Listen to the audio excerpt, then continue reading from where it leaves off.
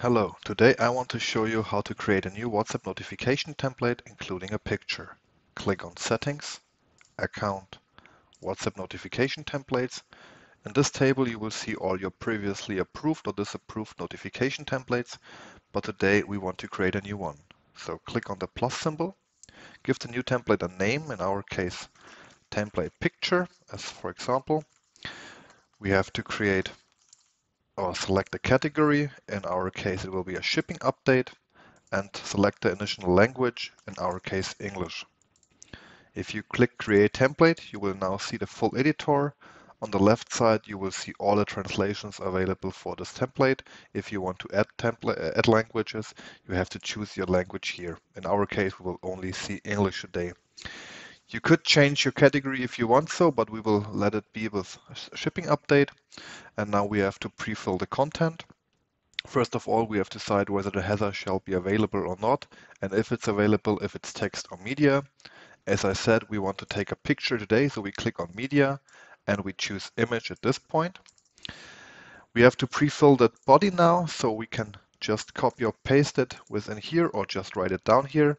In my case, I will copy and paste it and we have to fill the footer, which I will do via copy and paste too.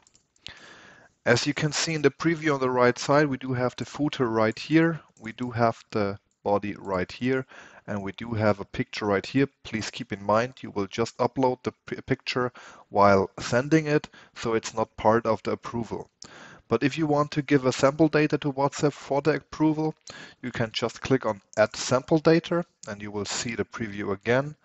And now you can just upload a sample picture. In our case, it will be a Books Now picture. And now you can see the preview here, save it, and now you will see it here again. We can now save the template here or submit it to, for the WhatsApp approval. If you click to submit, you have to choose which language shall, be transmitted to WhatsApp. In our case, we only have English, so we click English and submit the selected templates to WhatsApp.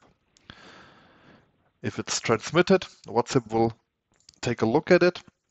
And as you can see here, you can see that we have um, a pending. So WhatsApp is actually in review.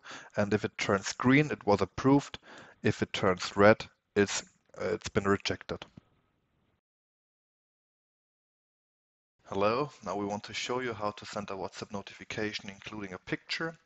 We will click once again on the plus symbol, send notification choose the WhatsApp notification template you want to send. In this case, we want to send a shipping update. Click the template. As you can see, you have the preview here and you have to add the picture you want to send. Click on choose JPEG or PNG file. Choose the file you want to use, in this case this picture. As you can see, the preview will update and the picture is in it now. And now we can click on submit to send the notification to the user.